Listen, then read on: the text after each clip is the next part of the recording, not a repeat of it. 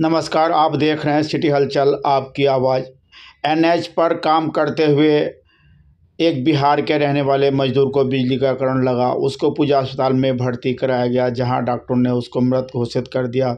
जैसे ही उसके करंट की सूचना उसके परिजनों को पहुँची और परिजनों में हाहाकार मच गया और उसके परिजन नजीवाद के लिए दौड़ रहे हैं। उसकी यह बच्चे हैं जो उनको बिहार फ़ोन कर कर उनकी सूचना दे रहे हैं।